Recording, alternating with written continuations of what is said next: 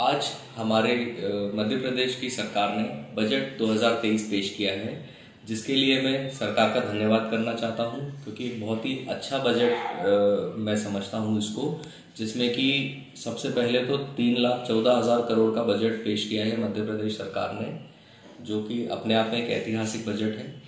इसमें कई विशेषताएँ हैं, जिसमें मैं मानता हूँ, एक भोपाल में Sant Shiromani Ravidas global skill park की स्थापना करना, वो एक बहुत अच्छा कदम है। फिर भोपाल और इंदौर मेट्रो के लिए 710 करोड़ रुपए एलोकेट करना, जिसमें कि उनका टारगेट है कि 2023-24 में मेट्रो को स्टार्ट किया जाए।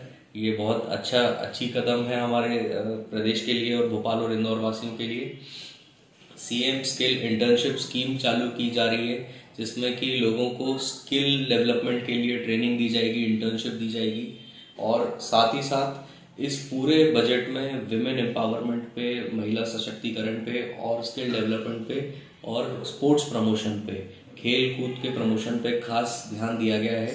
साथ ही साथ एक लाख नई जॉब्स के बारे में हमारे वित्त मंत्री ने कहा है और और साथ में कोई भी नया कर लागू नहीं किया है इस बजट में। तो ओवरऑल मैं इस बजट की सराहना करता हूँ और प्रदेश की सरकार को इसके लिए धन्यवाद देता हूँ।